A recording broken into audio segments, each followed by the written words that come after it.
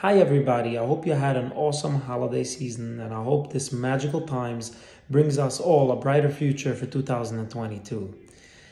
As you know, Skyscraper Insurance specializes in various places, and one of our main specialties are helping the real estate community, people that buy properties for investment purposes, whether it's one unit or 10,000 plus unit. If you're a landlord or property owner, syndicator, investor, property management companies, hedge funds, equities, you name it, we help you all manage your risk and protect you for what matters most and with all necessary insurance needs.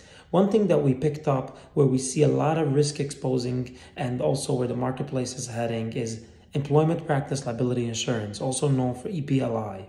It's so important you should all have it for your properties, for your businesses, because so much new types of claims are coming in for wrongful wrongful termination, um, discrimination with tenants, and it's something where you can have your side of the story, but you need to have a full front line of defense with proper litigation, and this is what this coverage does for you. It has so much details what it will do, but I'm just saying it here in a nutshell. It's so important you should have it. And frankly speaking, if you have properties anywhere in the United States, let Skyscraper Insurance properly protect you and review your assets and your portfolios. Because we at Skyscraper Insurance Services share your vision for a better tomorrow.